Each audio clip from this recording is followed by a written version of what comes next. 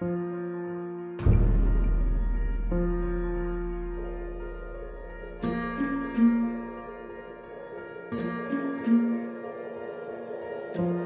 the pitcher's mound was set at precisely 60 feet 6 inches from home plate, the game of baseball was set in perfect balance. A showdown between the fastest it's humanly possible to throw a ball and the fastest it's humanly possible to react to it.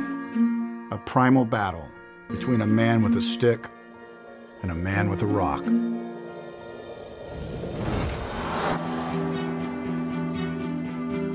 There is this powerful desire for every baseball fan to know who threw the fastest pitch. A 100 mile an hour fastball reaches the plate faster than the blink of an eye. Electric stuff explodes at the plate.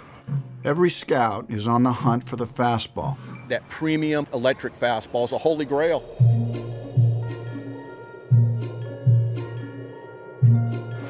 You can definitely hear a fastball. It sounds like trouble, is what it sounds like.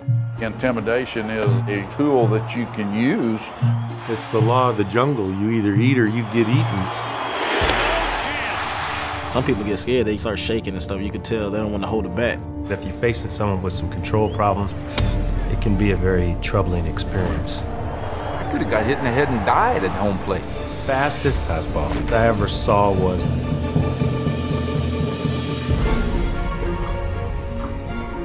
You're not going to have that many moments in your life where you're going to see the edge of human performance meeting the edge of human performance. That's what baseball's been for 120 years.